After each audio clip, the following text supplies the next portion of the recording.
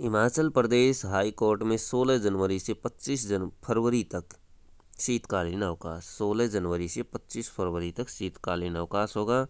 प्रदेश high court 16 जनवरी से 25 फरवरी तक शीतकालीन अवकाश के लिए बंद रहेगा। अति आवश्यक मामलों की सुनवाई के लिए तीन न्यायाधीशों को तैनात किया गया है।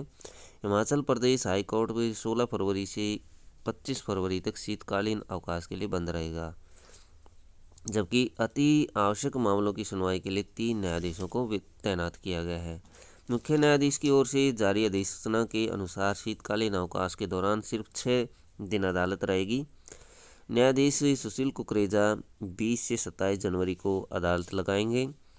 इसी तरह तीन फरवरी और 10 फरवरी को वीरेंद्र सिंह और 17 फरवरी और 24 से 17 फरवरी और 24 फरवरी के बीच अदालत सत्यन वैदल द्वारा लगाई जाएगी। यदि इन तारीखों में सार्वजनिक अवकाश रहता है तो अवकाश से पहले वाले दिन अति आवश्यक मामलों की सुनवाई की जाएगी। यदि कोई अति आवश्यक मामला हो, जिसके लिए इन तारीखों का इंतज़ार नहीं किया जा सकता तो उस स्थिति में संबंधित न्यायाधीश के घर या कार्यालय में पेश किया जाएगा।